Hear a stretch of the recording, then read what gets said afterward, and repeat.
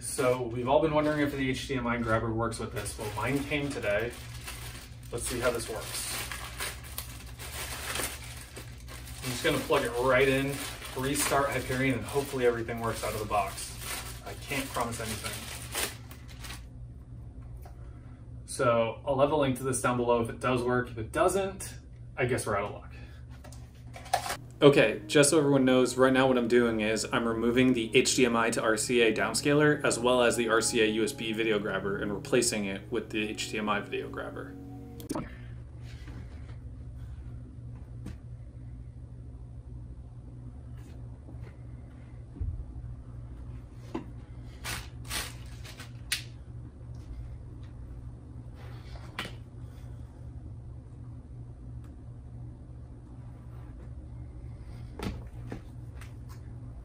It looks like it works straight out of the box. Uh,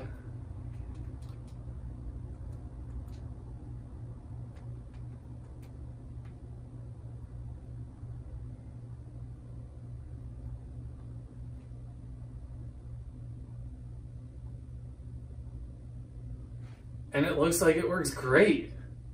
Okay, so we know that this exact model, which is just some cheap piece I got off of AliExpress,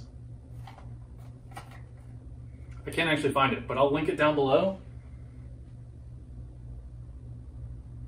It looks a little slower though.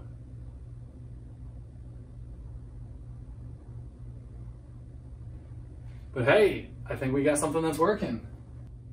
All right, so it does look like it works. It might be a little slower. I don't know if that's because of a different chipset or not, but it does look like it's what we're looking for.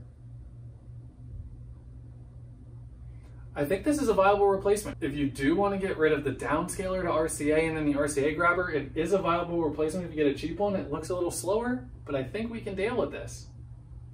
All right, thanks everyone.